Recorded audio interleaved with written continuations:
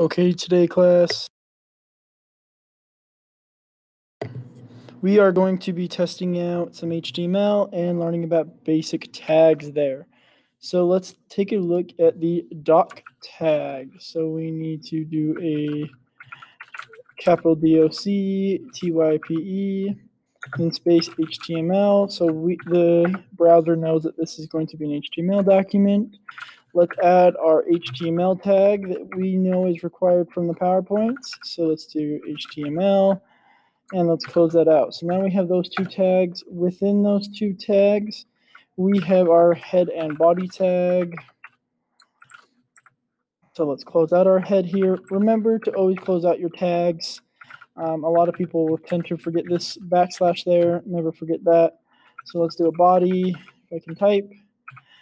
And let's close out our body tag. All right, and now we have both of those there, and we are good to go. So another tags we learned about were our title tags. So we have our title tag. We just need to put those waka wakas there. And then my title is going to be 08 slash 31. All right. And then that is going to be our title. Remember, our title doesn't show up on page. It actually shows up right here up top. So this is 831. Okay.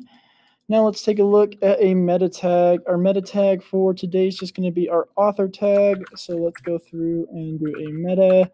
Remember, meta does not need a closing bracket there. So we're just going to do David Kempke.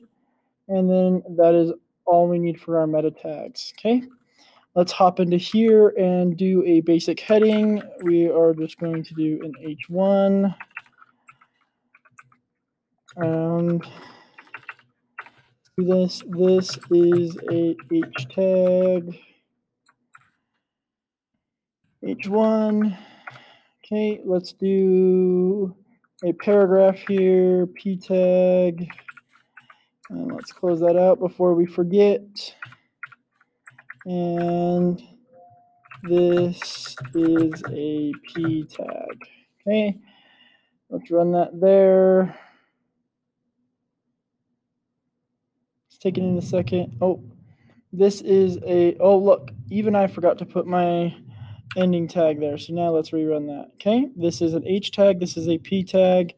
Let's give a better example of a P tag so you guys can see that it's more paragraph formatted. And yeah.